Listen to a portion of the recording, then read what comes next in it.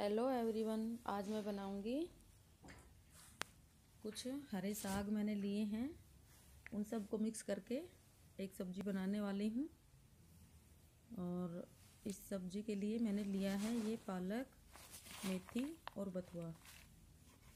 मैंने इन सबको बारीक कट कर लिया है। और अभी मैं ये एक बर्तन में बराबर बराबर मात्रा में मिक्स करके रखने वाली हूँ और उसके बाद इसको वॉश करूँगी। काफ़ी मिट्टी होती है और कीड़े भी होते हैं सब्जियों में तो अच्छे से दो तीन बार वॉश करूँगी। और ये साइड में मैंने कढ़ाई लेके उसमें तेल डाल के रख दिया है गर्म होने के लिए। और जैसे ही हमारा तेल गर्म हो जाएगा, मैं उसमें ये जीरा डाल रही हूँ। और जीरा जैसे भुन जाएगा, मैंने कुछ लहसुन की कलियाँ बारीक काट के रखी थी, वो इसमें डाली हैं और ऐसे चलाते रहेंगे चम्मच से। ताकि लहसुन हमारा जले ना। अगर नहीं चलाएँगे तो लहसुन जल जाएगा। और गैस मैंने इस टाइम मीडियम अगर गैस का फ्लेम तेज होगा तो भी हमारा लहसुन जो है वो जल जाएगा। और ये मैंने प्याज डाल दी है लहसुन भूनने के बाद। इसको भी हम चम्मच से ऐसे चलाते रहेंगे। जब तक ये सुनहरी ना हो जाए, तब तक हम इनको भून लेंगे। और प्याज के सुनहरी होने के बाद हम इसमें ये टमाटर ऐड करेंगे।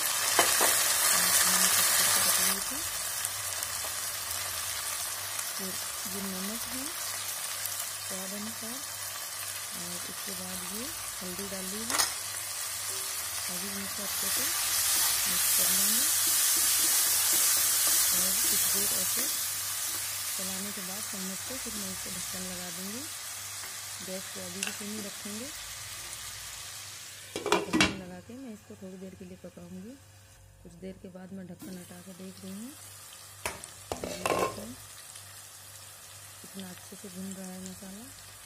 और ये मैंने धनिया पाउडर डाल दिया है थोड़ा सा।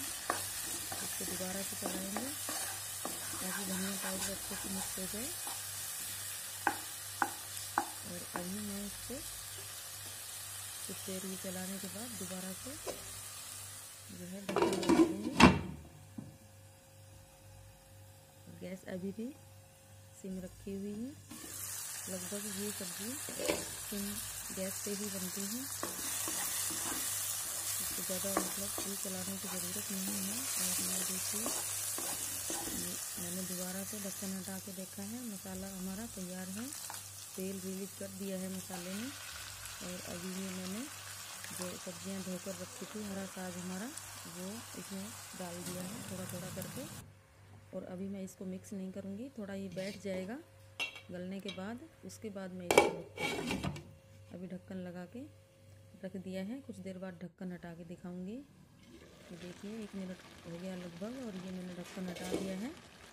और अभी देखिए कितना जो हमारा साग है, वो नीचे को बैठ गया है। नरम हो गया तो थोड़ा क्वांटिटी कम लग रही है इसकी अभी इसको मिक्स कर देंगे। अभी अच्छे से मिक्स करके और मैं दोबारा से ढक्कन लगा दूँगी इसको। ढक्कन मैंने लगा दिया है। और अभी मैं इसको फिर ढक्कन को हटा रही हूँ। ये प्रोसेस हमें बार बार करना पड़ेगा। थोड़ा सब्ज़ी को चला के फिर ढक्कन लगा के, फिर कुछ देर बाद फिर ढक्कन हटा के फिर सब्ज़ी को चलाना पड़ेगा। ऐसे में पता भी लग जाएगा कि सब्ज़ी कितनी गली है। ये देखिए, ढक्कन दोबारा से लगा दिया है। देखिए सब्ज़ी हमारी लगभग तैयार है, बस इसमें थोड़ा पानी बाकी है। वो पानी भी थोड़ा जल जाएगा क्योंकि इन सब्जियों में काफ़ी पानी होता है। आयरन, कैल्शियम विटामिन काफ़ी होते हैं हरी सब्जियों में। ठंडी के मौसम में ये सब्ज़ियाँ खानी चाहिए, क्योंकि ठंडी में ही मिलती हैं। सब्ज़ी हमारी तैयार है लगभग। अभी मैं इसको बंद कर देती हूँ और इसमें मिर्ची पाउडर बस ऐड करना है। थोड़ा गरम मसाला और थोड़ा मिर्ची पाउडर मैं इसमें ऐड करूँगी। अगर आपको मेरी ये वीडियो पसंद आए तो चैनल को सब्सक्राइब और वीडियो को लाइक कीजिए। ये मिर्ची पाउडर और गरम मसाला मैंने डाल दिया है।